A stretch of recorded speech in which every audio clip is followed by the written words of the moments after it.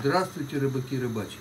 Я вам хочу показать, как справиться с, с толстым свинцом. Вот если у вас толстый свинец, можно, конечно, его пилить, можно один кусок отпилить большой, а потом вот так вот с ним разделаться. Вы кладете его просто на газовую плиту, он быстро, очень быстро расплавляется, и вот так вот он стекает.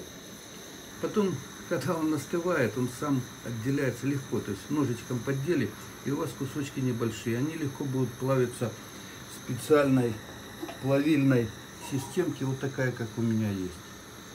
Вот. И это очень быстро и удобно. А если положить вот в металлическую, это вы будете ждать несколько часов, и то все у вас не расплавится.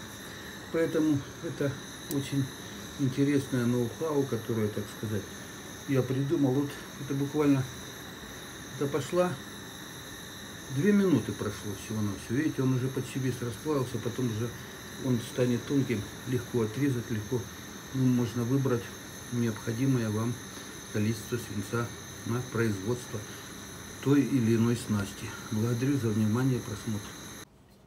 Вот смотри, вот смотрите, он еще до конца даже не остыл. Вот смотрите, видите, вот он не прилипает. Видите? Вот, вот.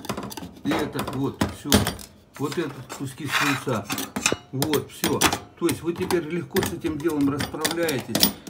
Вот, видите, отваливается все. Очень, короче говоря, очень удобно, прекрасно, быстро, главное. Всем удачи. Смотрите, я готовлю сейчас еще интересных пару роликов. Скоро будут.